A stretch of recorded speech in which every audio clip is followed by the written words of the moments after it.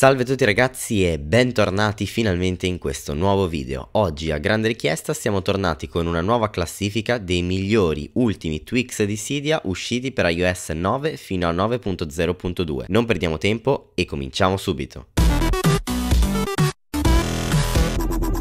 Bene, e voglio iniziare dal tema icone che ormai mi state chiedendo tutti. Si chiama Vexilium e lo applico tramite il theme manager di Anemone. Comunque qui sotto in descrizione trovate tutti i suoi dettagli ed anche lo sfondo che uso attualmente per la schermata home, visto che anche quello mi è stato molto molto richiesto. Ma iniziando con i tweaks veri e propri abbiamo Flash che ci fa apparire un bottone rapido per accendere la torcia dello smartphone quando saremo in una stanza buia. Per capire il livello di luminosità dell'ambiente in cui ci troviamo sfrutta il sensore posto sulla parte alta di ogni iPhone, tant'è che se lo copriamo con una mano per simulare il buio, ecco che nella schermata di blocco in basso a sinistra appare questo quadrato giallo con il logo del fulmine che se cliccato attiva la torcia, o ovviamente la disattiva nel caso fosse già accesa. Questo tweak funziona davvero bene e l'ho trovato immediato e utile in molte notti quando mi sono dovuto alzare e non vedevo assolutamente nulla nella mia stanza buia.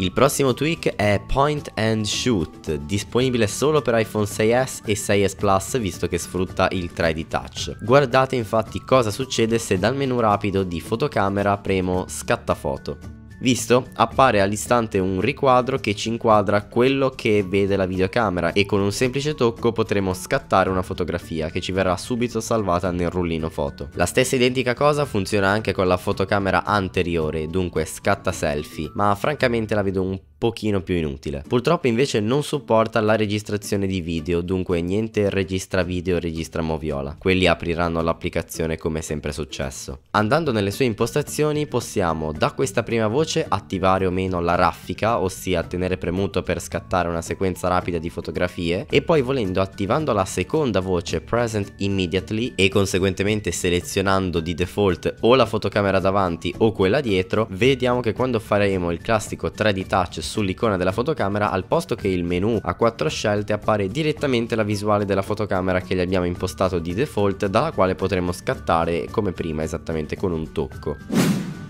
Il prossimo tweak è Mockingbird e si tratta di un nuovissimo menu del multitasking che sostituisce quello originale. Questa è la sua struttura, unica pecca è che ci mette svariati secondi a caricarsi e certe volte può essere fastidioso. Nella parte bassa dello schermo troviamo una lista cronologica stile centro notifiche con tutte le notifiche per l'appunto che ci sono arrivate. Ovviamente cliccando su una di esse si mostrerà nel suo rispettivo luogo di provenienza. Nella parte alta invece abbiamo tutte le applicazioni aperte, in particolare l'ultima usata usata occuperà metà schermo sinistra mentre nella parte destra avremo a gruppetti di 4 tutte le altre apps aperte nel multitasking. Tenendo il dito premuto su una di queste schede chiuderemo l'app dal multitasking, questo vale sia per l'ultima aperta sia per quelle piccoline a destra dopo di lei. Unica pecca secondo me è che attualmente manca un modo per chiudere tutte le applicazioni in un colpo solo, dovremo per forza farlo uno alla volta. Dalle sue impostazioni l'unica cosa che potremo fare sarà attivare il layout invertito, ossia visuale visuale delle notifiche in alto e menu del multitasking con tutte le applicazioni in basso. Molte volte quando abbassate il centro notifiche e andate nella sezione notifiche la trovate davvero piena di messaggi e avvisi che non fanno altro che intasarvela, vero? Normalmente se vorreste chiuderle dovreste gruppo per gruppo, giorno per giorno premere la X in alto a destra e riconfermare la cancellazione premendo cancella. Questo tweak è fantastico, si chiama 3D Touch to Clear Notifications e come suggerisce il nome è compatibile solo con iPhone 6s e 6s Plus perché permette di cancellare attivare tutte le notifiche esistenti in un colpo solo facendo semplicemente la pressione 3D Touch in un punto vuoto dello schermo. Apparirà quindi il bottone Clear All che se premuto in pochi secondi vi pulirà completamente tutta la visuale.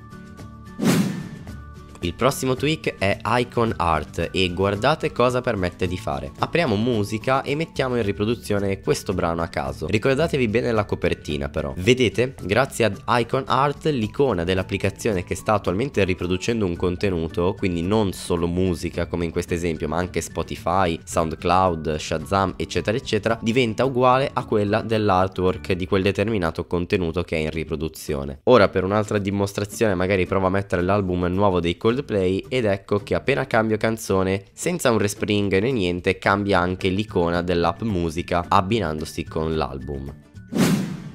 Il prossimo tweak è Powerbar ed è estremamente semplice. Tutto quello che fa è aggiungere questa riga in alto che ci indica in modo più ampio la percentuale della batteria, cambiando anche colore in base al livello di carica. Alto, in questo caso verde, medio, ossia arancione e basso, che udite udite sarà rosso. Ok, potete dirmi che abbiamo già l'icona della batteria in alto a destra, ma vederlo su tutto il lato largo del display vi fa rendere conto ancora di più di quando siete a secco, visto che è molto più visibile.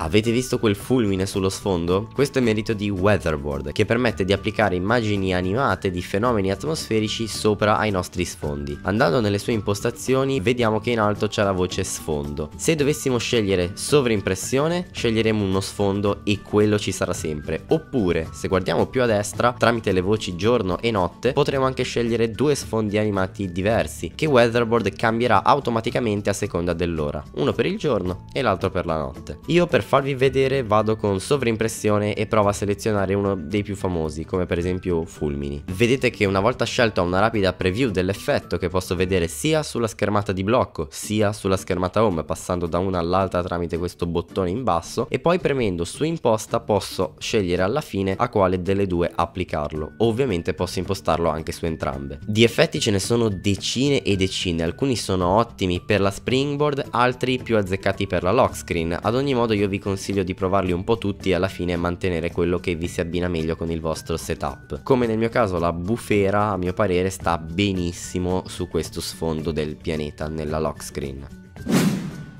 Abbiamo poi Appbox 9 che aggiunge uno scorrimento verso sinistra nella schermata di blocco grazie al quale potremo visualizzare dei collegamenti rapidi di applicazioni da aprire seduta stante senza stare a sbloccare il dispositivo. Proviamo ad esempio ad aprire musica, inseriamo il codice o l'impronta e bam! Dalle sue impostazioni innanzitutto potremo attivarla e disattivarla. Subito sotto, nella categoria Apps, troviamo altre voci da regolare. Abbiamo di nuovo Apps e qui come è intuibile possiamo scegliere quali applicazioni mostrare nel menu di Appbox. Sarà sufficiente trascinarle nell'elenco Enabled grazie al grabber sulla loro destra. Io vi faccio l'esempio inserendo magari One Password e App Store e vedete che senza nemmeno fare un respring subito abbiamo la nuova lista di apps caricate caricata. Ritorniamo proprio da qui alle impostazioni e vediamo questa volta la voce Auto Unlock che sostanzialmente ci permette di dire ad Appbox se desideriamo aprire le sue applicazioni senza che ci venga chiesto il codice per sbloccare prima l'iPhone. Questo lo possiamo fare innanzitutto attivando la funzione del primo interruttore e subito dopo inserendo sotto il nostro codice di sblocco. Più sotto abbiamo anche Fully Unlock Device che è una cosa un po' diversa dall'auto unlock unlock. Permettetemi di spiegarvi la differenza. Ora ho attivato solo auto unlock, infatti vedete che se provo ad aprire un'app da Appbox come musica per esempio, questa si apre senza chiedere alcun codice a differenza di prima, ma nel momento in cui provo ad uscire dall'applicazione stessa, vedete che il dispositivo è rimasto bloccato e dunque torna alla lock screen. Se invece attivo anche Fully Unlock Device, come si intuisce dal nome, una volta aperta un'app da Appbox, verrà anche sbloccato completamente il dispositivo. Infatti premendo il tasto home per uscire, giungiamo diretti alla springboard pronta e funzionante. Ovviamente dalla voce Auto Unlock Apps possiamo scegliere di eseguire questo sblocco senza chiedere alcun codice solo per determinate applicazioni e non per tutte quelle di Appbox, basterà trascinarle in Disabled. In questo caso io per esempio ho lasciato l'Auto Unlock attivo soltanto per musica. Più in basso dalle opzioni potremo regolare le applicazioni per riga. Penso che 3 non starebbero male e inoltre tutta una serie di grafica come la loro loro opacità che io provo ad abbassare leggermente, scurire leggermente lo sfondo, aprirle solo con un tocco continuato e non uno semplice, eccetera, eccetera. Sleep After invece ci permette di scegliere dopo quanti secondi lo schermo deve spegnersi quando abbiamo il menu Upbox aperto. Io provo a mettere mai e vedete che anche questa volta senza un respring tutti i cambiamenti sono stati applicati senza problemi.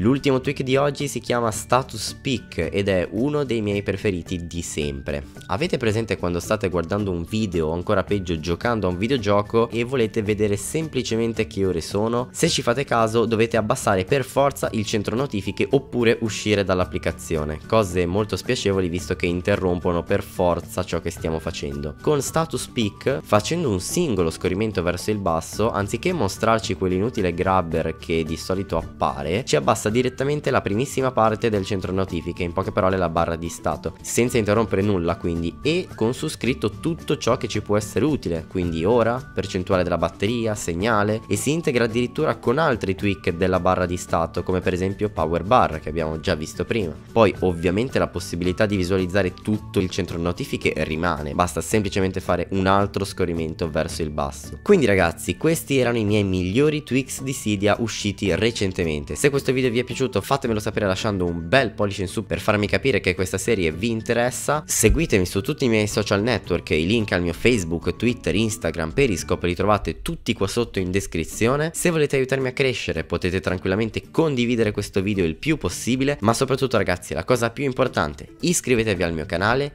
e noi ci rivediamo ad un prossimo video.